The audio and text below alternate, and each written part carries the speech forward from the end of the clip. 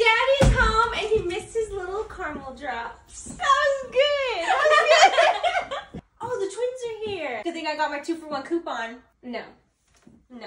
Uh, which one of you guys is trying to go deeper than we buried my grandpa last week? Bing, bong, huh? What is wrong with you? I'm like a pistachio. Your you gotta, mom would not approve. You gotta work for this nut.